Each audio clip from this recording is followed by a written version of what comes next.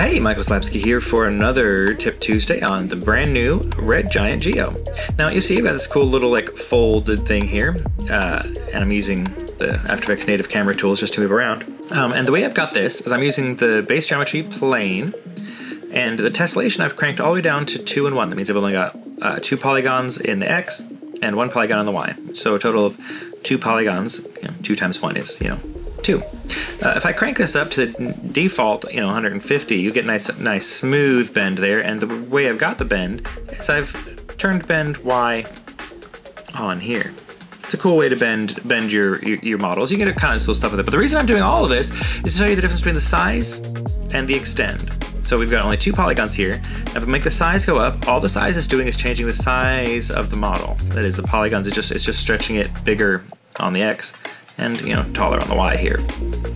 But the, if I hit extend mesh, watch what happens. It goes more, but then it adds geometry. It's extending the mesh, following the rules, and adding geometry. Uh, you can go negative, uh, and positive here. So uh, depending what you're trying to get done here, um, the extend might might give you the control you want, or changing the tessellation, size, and bend all, all together might, might get you what you want. But again, kind of it's just another control uh, for you to get done what you need to get done. For this kind of info and a whole lot more, uh, be sure to check out the Red Giant user guides.